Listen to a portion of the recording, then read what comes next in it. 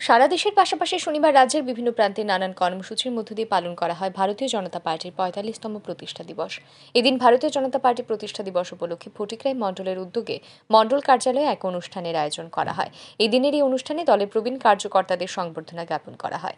এদিনের এই অনুষ্ঠানে অংশগ্রহণ করেন ফটিকরাই বিধানসভা কেন্দ্রের বিধায়ক তথা মন্ত্রী সুধাংশু দাস। প্রসঙ্গত, উনিশশো আশি সালের ছয়ই এপ্রিল রাষ্ট্রবাদ ও অখণ্ড মানবতাবাদের আদর্শকে সামনে রেখে ভারতের প্রয়াত প্রাক্তন প্রধানমন্ত্রী অটল বিহারী বাজপেয়ীর হাত ধরে ভারতীয় জনতা পার্টি প্রতিষ্ঠা হয়। এদিন বক্তব্য রাখতে গিয়ে মন্ত্রী সুধাংশু দাস বলেন, কার রাজনৈতিক দক্ষতা কতটুকু সেটা বড় কথা নয়। বয়োজ্যেষ্ঠদের সম্মান করতে হবে, সেটাই শেষ কথা। আর এই বিষয়টি দলের নবাগত কার্যকর্তাদের মাথায় রেখে দলের প্রবীণ কার্যকর্তাদের সম্মান করতে হবে। কেননা এটাই ভারতীয় জনতা পার্টির সংস্কার। তিনি বলেন, ভারতীয় জনতা পার্টি বাম কিংবা ডান পন্থায় বিশ্বাসী নয়। ভারতীয় জনতা পার্টি সম্পূর্ণ আলাদা, কারণ ভারতীয় জনতা পার্টি একটি রাষ্ট্রবাদী দল। ভারতীয় জনতা পার্টির মূল নীতি হলো আগে রাষ্ট্র, তারপর দল এবং সবশেষে নিজের কথা ভাবা।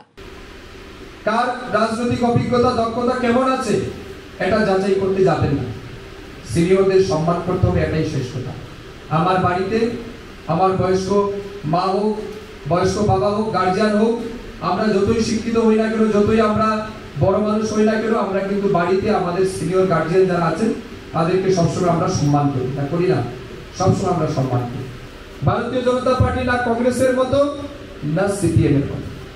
ভারতীয় জনতা পার্টি সম্পূর্ণ আলাদা। আমরা না বামপন্থী, না ডানপন্থী, আমরা কোন কোনপন্থী? আমরা হচ্ছি রাষ্ট্রবাদী। আমরা বামপন্থী নই, ডানপন্থী নই, আমাদের উদ্দেশ্য একটাই। বলো বলো বলো সবে, শত বিনা বেনু রবে, ভারত আমার জগৎ সভায় শ্রেষ্ঠ আসনে লবে, ভারতবর্ষকে জগৎ সভায় শ্রেষ্ঠত্বের আসন পৌঁছে দিতে হবে। এটা হচ্ছে আমাদের স্বপ্ন। আমাদের বিচারধারা কি?